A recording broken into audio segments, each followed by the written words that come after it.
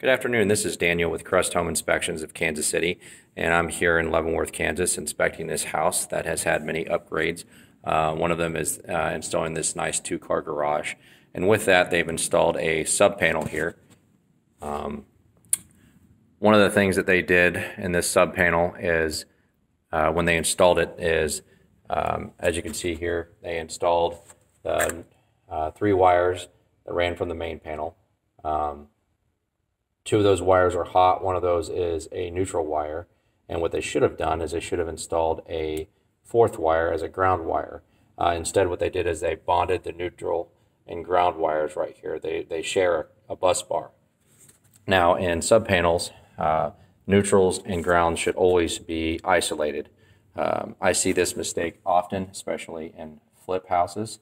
Um, a lot of times they don't pull permits or have an actual uh, electrician do the work.